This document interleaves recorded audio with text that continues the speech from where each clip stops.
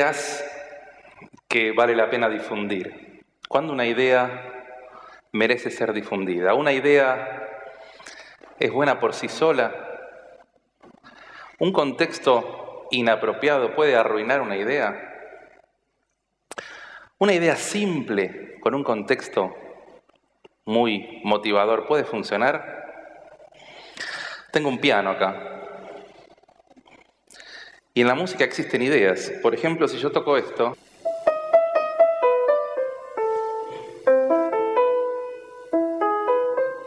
ya veo algunas damas de la platea suspirando porque es una idea maravillosa. ¿Quién no conoce Parelisa de Beethoven? Ahora, esta idea precisa un contexto. El contexto en el piano, en este caso lo hace la mano izquierda. La mano izquierda acompaña y toca perfecto, ya tengo una idea, ya tengo el contexto, entonces solo me resta unirlas para que quede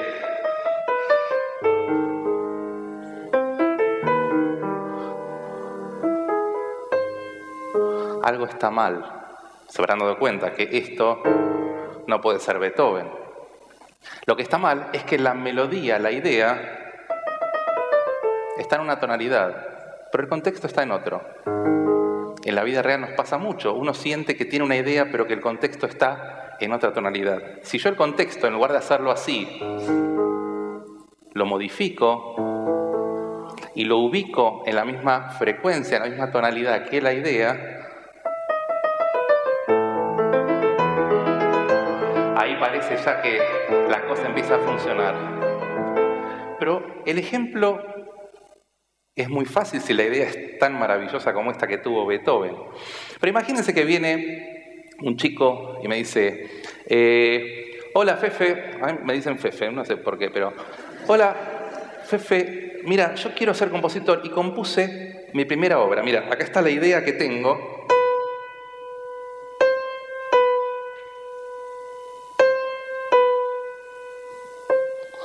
Y yo les digo, sí, sí, nene, muy lindo. Me hace acordar a la historia esa del, padre que hace estudiar al violín al chico y lo lleva a un amigo, le dice, mira Juan, escucha cómo toca violín mi hijo. Y el hijo toca violín muy feo y le dice, ¿qué te parece la ejecución? Bueno, la ejecución un poco exagerada, un par de bofetazos alcanzaría. Pero bueno, no, no era el caso.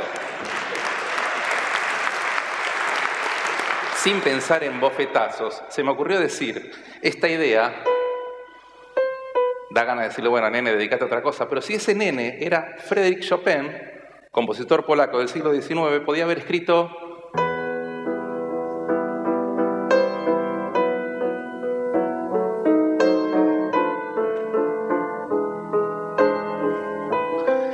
esa idea tan sencilla que daba para el bofetazo, hizo un preludio, el preludio en mi menor, una obra maravillosa que se toca en todos los recitales de piano.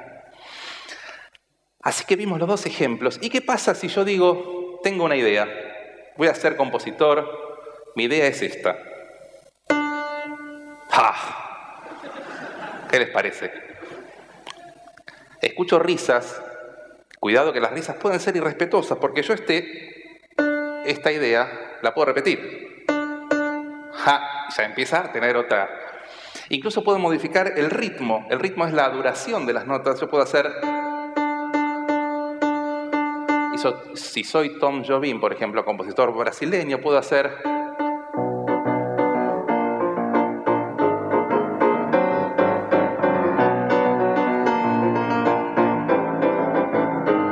Es la samba de una nota sola.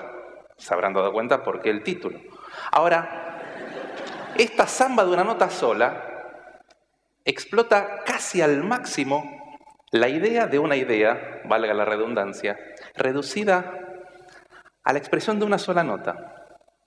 Pero hablando de reducir ideas, hay un ejemplo que es casi paradigmático, el ejemplo más interesante de síntesis de una idea, que lo produjo John Cage compositor de una obra para piano que se llama 4 minutos 33 segundos.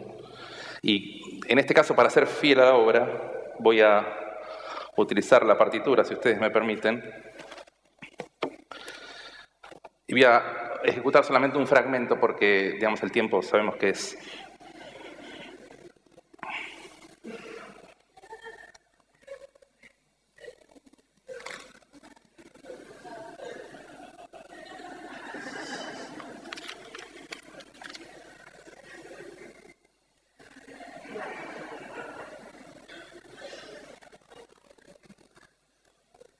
Y, bueno, podríamos continuar, pero con esto, este,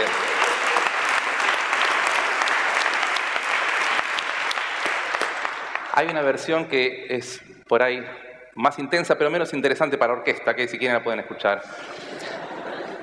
Y también, hablando de ideas en la música, se me ocurre pensar hasta qué momento una idea es propia, es totalmente propia, y en qué momento la idea empieza a ser un poco compartida. Hay un área de Mozart, de la ópera Don Giovanni, Don Giovanni, Don Juan, la historia de el varón que quiere encontrar todas las mujeres en una y por eso conquista una y después la otra y la otra y siempre se queda insatisfecho.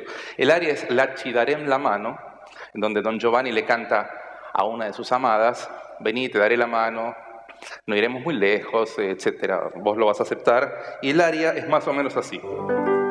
La ci daré la mano, la mi dirai di sì.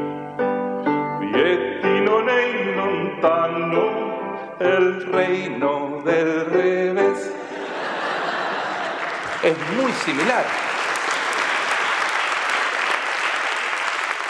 Ahora, este es un ejemplo dudoso, porque decimos, esta idea estaba de antes, es nueva, pero hay un compositor en donde claramente podemos decir que encuentra las cosas antes de que se pierdan. Un eufemismo para decir que roba. Un compositor, un compositor popular, digamos, que se quedó sin inspiración. Tampoco había tenido mucha inspiración en las obras previas, pero en este caso él quería tener inspiración, entonces buscó en su vieja fonola, en sus viejos discos de pasta. A los más jóvenes les digo que antes no era un pendrive, no era un CD, era vinilo, ¿no? Y este disco de pasta lo colocó para ver si se inspiraba, era un disco de un tango.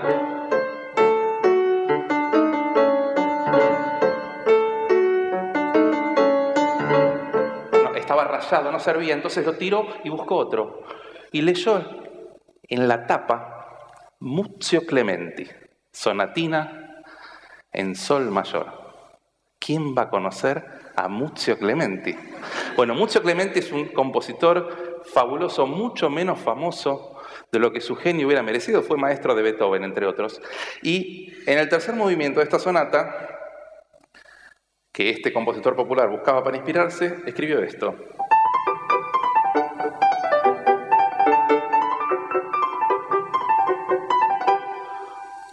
Y este compositor dijo, no me gusta mucho, algo está mal acá. ¿Qué es este botoncito? Había un botón que tenía tres números, 33, 45 y 78. 78, estaba en 78, dijo, debe estar mal esto, lo pongo en 45.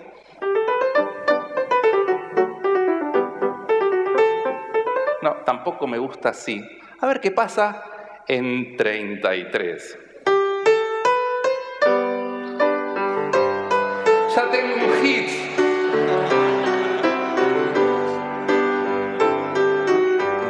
¿Y quién, quién me va a denunciar?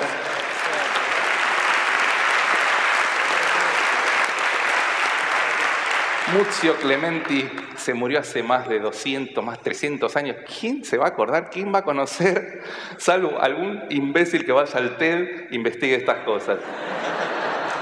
Ahora, en un esfuerzo de producción sin precedentes, la sonatina no termina ahí, ¿eh? Sigue.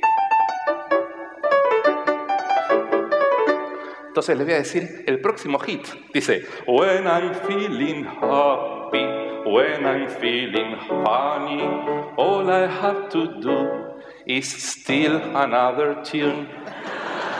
Y listo, y ya ahí con eso lo publico y nos llenamos de plata todo. Ahora bien, una vez escuché, hablando de ideas ahora que era el tema, escuché a Alejandro Dolina decir que genio no fue el que inventó el teléfono.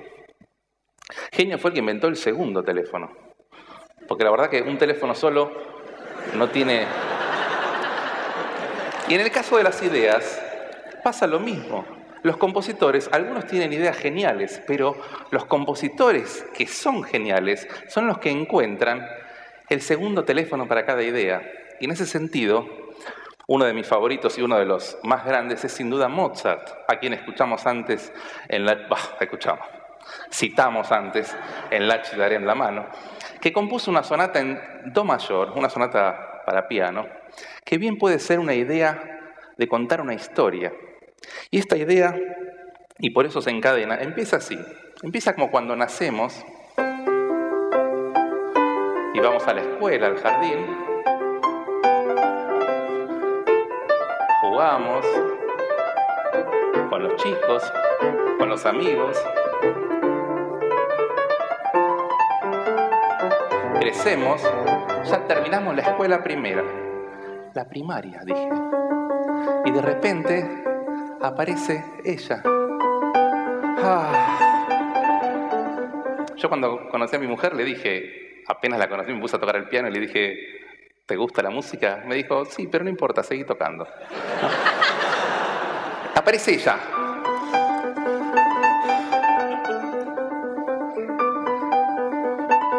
Está todo bien. ¿Salimos? Sí, a tomar un café, a pasarla juntos muy bien. Ahí estamos siempre muy contentos y este es el momento en donde hay que decirle, ¿así que te gusta que yo sea músico? Sí. ¿Te gusta que sea bohemio, que no me interese lo material? Me encanta, pues fírmalo. Porque yo quiero tener registros, porque esto tiene... Está por terminar. Qué lindo. Y si vamos a vivir juntos y nos casamos, dale. Pongamos fecha. Y empezó el matrimonio. Oh. Pero es Mozart, ¿eh? Es Mozart. Empieza Mozart. Los chicos, el trabajo, la casa. Y lo principal, ¿es esta la vida que, la vida que quiero? Y uno lo que quiere es volver a ese comienzo, cuando era chico. Ah, llegamos. Este es como el comienzo, pero el comienzo era así. Y ahora es así. No es lo, es lo mismo, pero no es lo mismo. Ahora ya tenemos unos kilos de más, un poco menos de pelo. El otro día se paró mi nene, yo estaba sentado y me dijo, papá, se te ve el piso. Y yo dije, es cierto, porque estamos en, el, en la recapitulación. Pero uno igual disfruta, ¿no? Y busca, los chicos crecieron, reencontrarse con esa persona que conoció y siente que la encuentra. Ah, pero ¿cómo era antes? Y ahora es... Está bien, es parecido. ¿Qué va a ser? Yo también estoy más gordo. Jugamos, salimos, no, nos quedamos acá. No es tan feo, Doctor House. Y la verdad que utilísima. Da unas recetas. Me gusta ese asado al horno, con papas. Y así termina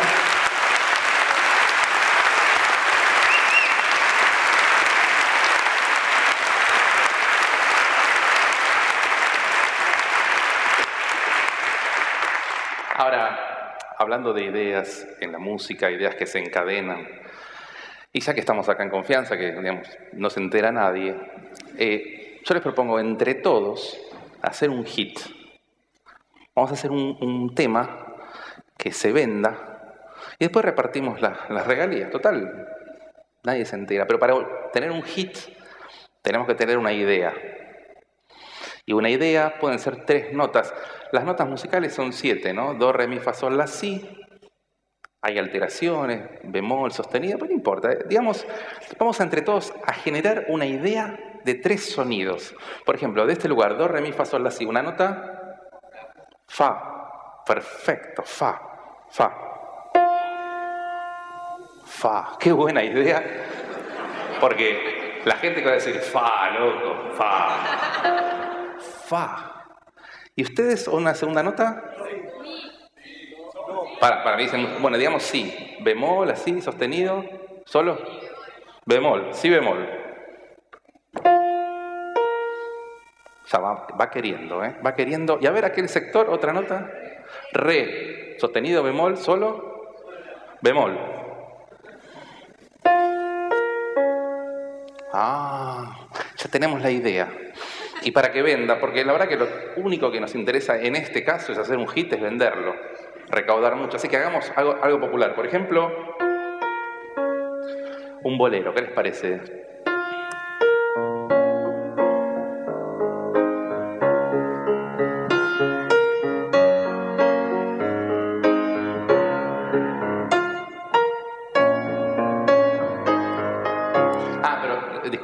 Este, yo voy corriendo a los camarógrafos. ¿Saben lo que pasa? Que si es un bolero, ¿cómo no va a tener texto?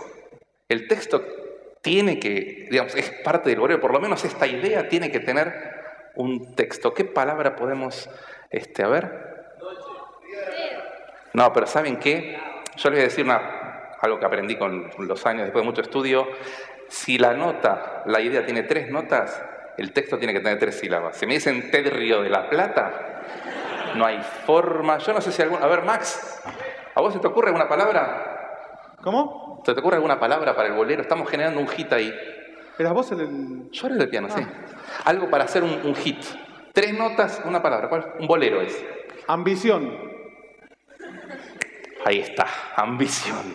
Ambición de quererte, ambición de tenerte, ambición de no sé qué. Entonces, vamos a hacer una cosa. ¿Se acuerdan cómo era la idea, no? A ver cómo funcionamos cantando. Yo les pido que digan ambición cantando esas tres notas. Vamos a ver. Y. Ambición. Tenemos una pequeña dificultad. A ver, respiramos bien, lo hacemos de vuelta, a ver. Y. Ambición. De vuelta, a ver. Buenísimo. Yo ahora voy a llenar el resto en el medio, pero cuando venga el tema, ahí lo hacemos, este, lo cantamos fuerte. ¿Están listos? A ver, empezamos con ambición. A ver. Y. Paren,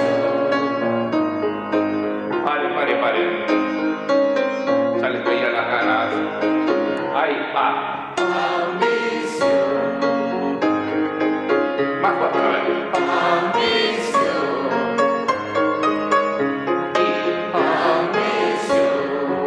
Y para que sea un verdadero hit, esto tiene que terminar con una ovación, porque si no, la gente va a pensar, porque lo estamos grabando en vivo ahora, para después lo pueden comprar a la salida, lo digitalizan. Entonces, todo este sector, vamos a hacer una especie de, de como de ensayo del aplauso ovación. Es así. A ver, todo este sector. Más, más, más, más, más, más, más, más. Hasta arriba, hasta arriba. Ahí está, buenísimo. Ustedes hacen eso, ustedes empiezan a cantar, pero a medida que ellos van creciendo, empiezan a dejar de cantar y aplaudir cada vez más. Así terminamos todos, pum, para arriba, este TED Río de la Plata. A ver cómo sale, ¿eh? Empiezan todos cantando, ¿eh? Cuando doy la señal, ahí el aplauso ovación. Se está grabando, por favor, seriedad. Tres y...